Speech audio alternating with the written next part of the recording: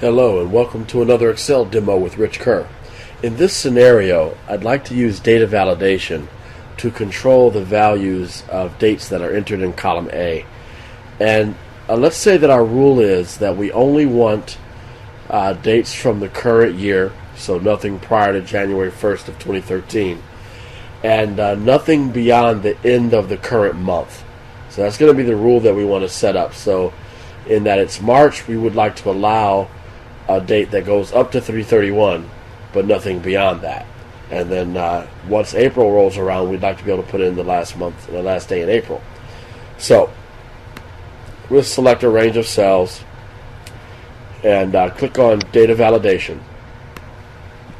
So on the Settings tab, where it says Allow Any Value, we'll choose Date. And we'll use the Between operator since we're trying to create a date range. Uh, although there are other operators you could use, such as not between or greater than or equal to, less than, etc.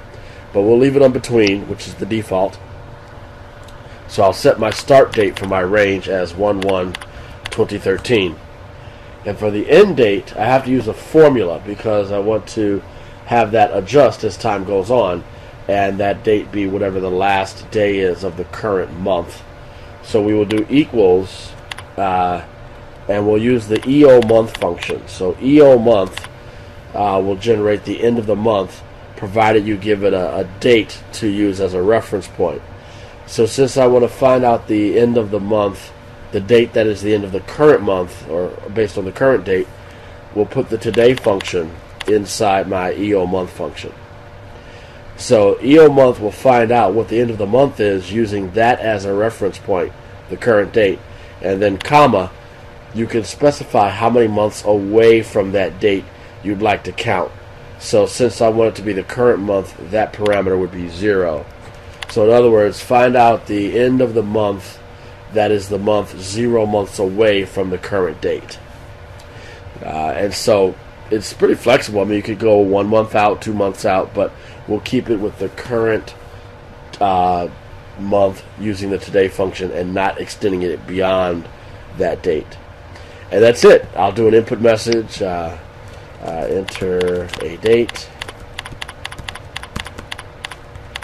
and my message might say current year, uh, nothing beyond end of this month, dot dot dot.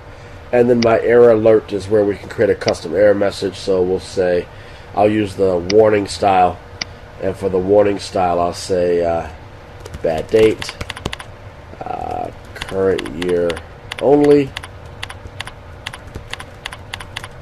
Nothing beyond uh, end of the month, please. So that's my custom error message. So while I've got those cells selected, I'm going to turn on the short date format. And so there's my input message. So if I put in, say, 215, that works out just great. If I try to go back to December 19th of last year, there's my error message. That violates the rule that I set up. Uh, because I chose the less strict style uh, warning and not the stop style, I have the option to override, which I'm going to do so I can show you another function. So I'll say yes, uh, and uh, if I try to do, say, March 31st, that works out just fine because that is the end of the current month. But if I try to do April 2nd, uh, that violates the rule. And if I chose no, then I can go back and say, oh, really, it should have been March 2nd, etc. Now, let's say I do decide to override the error. Say, yes, I'm going to put in a few values that don't meet the criteria. So I choose yes there. So after the fact, if I'd like to audit which cells don't meet the validation criteria, I can go back to my data tab and use the data validation drop down and choose circle invalid data. And that will then draw red circles around the cells that don't meet their validation criteria. So I can use it not only as a preventative measure on the front end, but as a way to audit data uh, after the fact.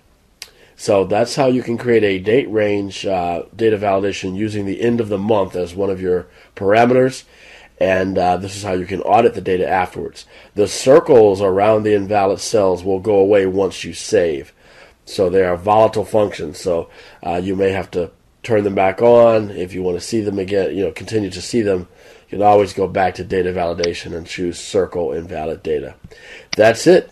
Please tune in again soon for more Excel videos. Have a great day.